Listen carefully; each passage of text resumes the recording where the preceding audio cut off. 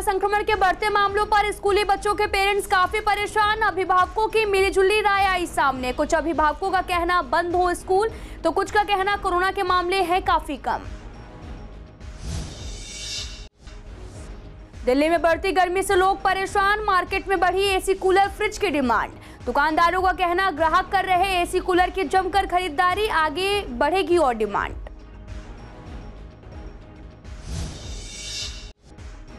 Mandoli road market में plastic पर प्रतिबंध के बावजूद हो रहा इस्तेमाल। सौ दिनों तक चलेगा जागरूकता अभियान। एनजीओ ने प्लास्टिक से बनी चीज़ों की लगाई प्रदर्शनी। नुक्कड़ नाटक का किया आयोजन।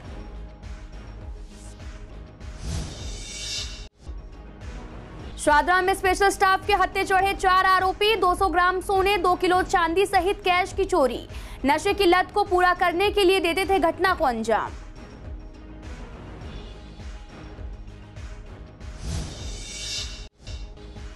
अजय माकन के बयान से पूर्वी दिल्ली के कांग्रेस नेता सहमत। कांग्रेस नेताओं ने कहा, आप पार्टी भ्रष्ट पार्टी। नहीं दिखानी चाहिए सहानुभूति।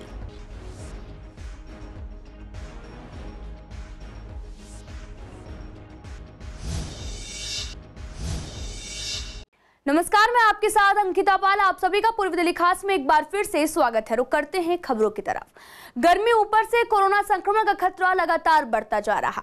ऐसे में स्कूली बच्चों को काफ़ी परेशानी का सामना करना पड़ रहा है। कोरोना के मामलों में उछाल देखा जा रहा और ऐसे में रोज़ाना घर से बाहर निकलने वालों के संक्रमित होने का खतरा भी बना हुआ है। इससे सबसे ज़्यादा खतरा बीमार बुज़ुर्गों और साथ ही स्कूल जाने वाले बच्चों को है, क्योंकि इनकी इम्यूनिटी काफ़ी कमज़ोर होती है। इन पर बैक्टीरिया या फिर वायरस का असर जल्दी हो जाता है। ऐसे में स्कूल जाने वाले बच्चों के पेरेंट्स काफ़ी चिंतित हो रहे हैं। स्कूलों का नया सेशन भी शुरू हो गया है और ऐसे में अभिभावक चाहते हैं कि स्कूलों को बंद कर देना चाहिए। वहीं कुछ लोगों का कहना है कि अभी कोरोना के मामले अभी इतनी ज़्यादा गंभीर नहीं है कि स्कूल कॉलेज को बंद कर दिया जाए। ये कि बच्चों के स्कूल जो खुल रहे हैं दिन में अब बहुत ज़्यादा केस आ रहे हैं, इसीलिए बच्चों के स्कूल बंद कर दिए जाए और पहले बच्चों की सेहत बाद में पढ़ाई है। अगर केस कम हो जाते हैं तो बेशक थोड़े दिन बाद फिर खोल लें जैसा कि पिछले का अनुभव हमने देखा कि दिल्ली में 20-20 तीस तीस हज़ार केसेज आते थे और हज़ारों की संख्या में डेथ होती थी। तो उस अनुभव को देखते हुए स्कूलों को तुरंत बंद कर देना चाहिए। बच्चों की ज़िंदगी पहले है और पढ़ाई लिखी लिखाई बाद में और वैसे भी अभी पढ़ाई इतनी हो नहीं रही है, स्कूल बंद भी है और छुट्टियाँ पढ़ने का वैसे भी समय है, यदि छुट्टियाँ बच्चों की छुट्टियाँ कर दी जाए और बच्चे स्वस्थ रहें तो फिर से स्कूलों को खोल देंगे और फिर से पढ़ाई शुरू हो जाएगी।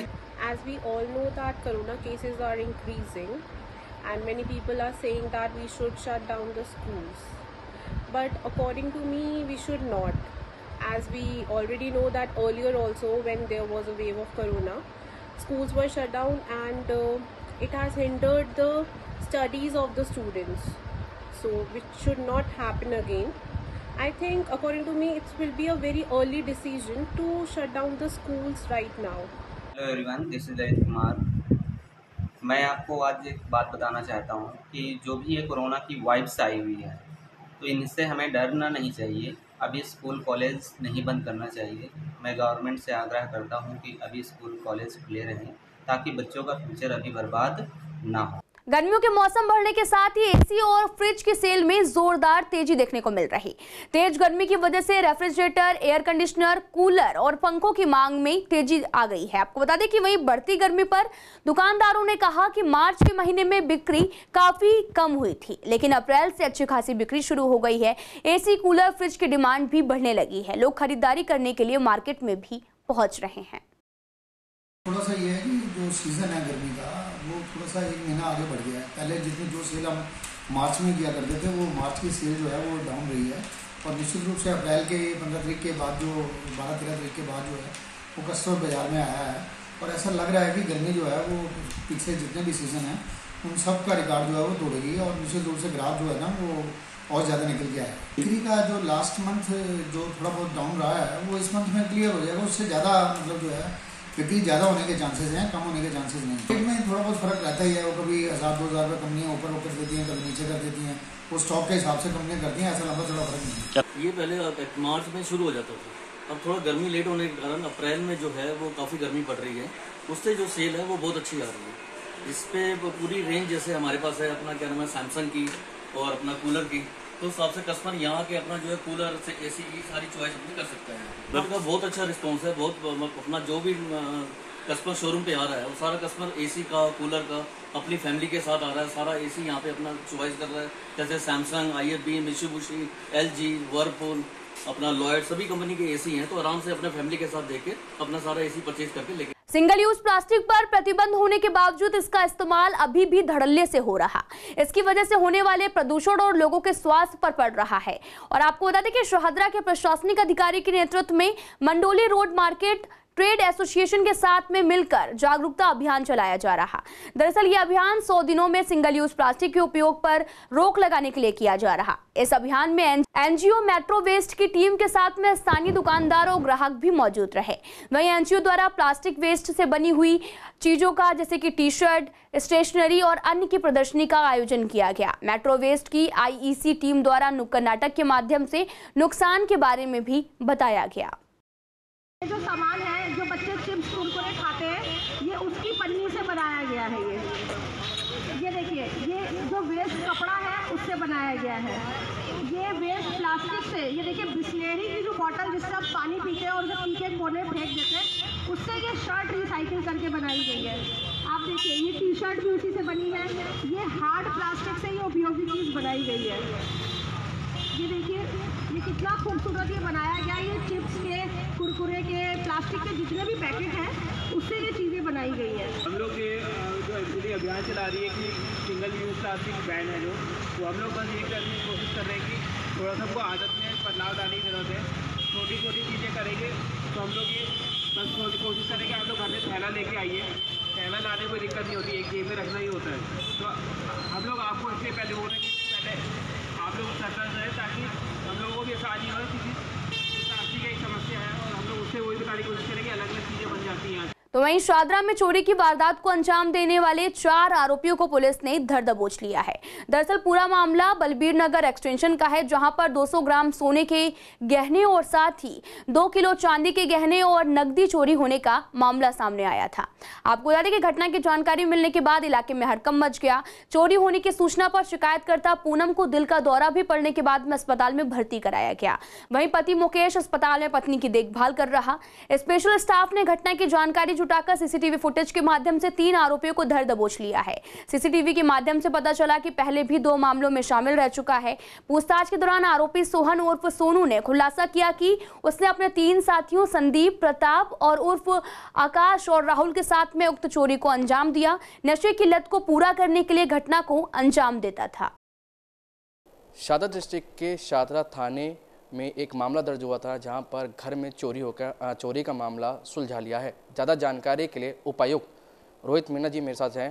ये पाँच अप्रैल को हमारे पास एक लेडी हैं, पूनम। इन्होंने एक घर में चोरी की इंसिडेंट को रिपोर्ट किया। ये इंपॉर्टेंट चीज़ इसमें ये रही कि इनके घर में, इनके हस्बैंड को हार्ट अटैक आया था तो मैक्स हॉस्पिटल में गए थे और इसी दौरान उनके घर में चोरी हो गई। काफ़ी वैल्यूएबल सामान, उनकी ज्वेलरी कैश और काफ़ी इसमें चोरी में सामान चोरी हो गया। तुरंत इसमें मामले की ग्रेविटी को देखते हुए हमने इसमें स्पेशल स्टाफ की टीम को इसमें अपॉइंट किया गया। स्पेशल स्टाफ की टीम के एनालिसिस में काफ़ी ये जो चोर थे, ये ऑटो का भी यूज़ कर रहे थे, कई गाड़ियों का भी यूज़ कर रहे थे, एक गाड़ी छोड़ते दूसरी गाड़ी यूज़ करते और नंबर प्लेट भी फॉर्ज कर रखी थी। इस तरीके से काफ़ी फुटेज 12 किलोमीटर की फुटेज देखने के बाद और, लगभग 400 से भी ज़्यादा कैमरे के देखने के बाद हमें, हमने एक जगह पहुँचे जहाँ पे ट्रैप लगा के हमने तीन लोगों को इसमें अरेस्ट किया है, जिस, जिन पे अट्ठाईस मुकदमे ऑलरेडी हैं। इसमें एक सोहन है, वो लोनी का है, संदीप है, वो मौजपुर का है और एक आकाश है, वो भी नॉर्थ ईस्ट ज़िले का है। तीनों को हमने अरेस्ट कर लिया है। इसमें लगभग दो लाख रुपए कैश और तीन लाख से ऊपर का हमने गोल्ड और इसमें चांदी और घड़ियाँ और स्कूटी जो क्राइम में यूज़ की गई, और काफ़ी सारी चीज़ हमने रिकवर कर लिया फ़िलहाल इस पूरे मामले में पुलिस ने तीनों आरोपी को गिरफ़्तार करके सलाखों के पीछे डाल दिया है। वीडियो जर्नलिस्ट रविकांत के साथ मोहित शर्मा सीशन लाइव दिल्ली। कांग्रेस नेता अजय माकन ने रविवार को सीएम केजरीवाल से सहानुभूति न दिखाने के लिए कहा है और साथ ही कहा कि उन्हें समर्थन न दिया जाए। कांग्रेस नेता अजय माकन ने परोक्ष रूप से अभिषेक मनु सिंघवी पर भी बिना नाम लिए कहा कि केजरीवाल और आपके केस लड़ने से कांग्रेस के राजनीतिक संदेश जा रहा है। आप बड़े वकील हैं और साथ ही सी सी स्टेयरिंग कमेटी सदस्य हैं, इससे दूर रही है। इस पूरे मसले पर डॉक्टर नरेंद्र नाथ ने कहा कि ये वकील का काम है। वो अपना काम करेंगे। अजय माकन ने जो बात कही है, वो काफ़ी सही है। जिस तरीके से महात्मा गांधी की समाधि पर जाते हैं, इनको वहाँ पर जाना शोभा नहीं देता।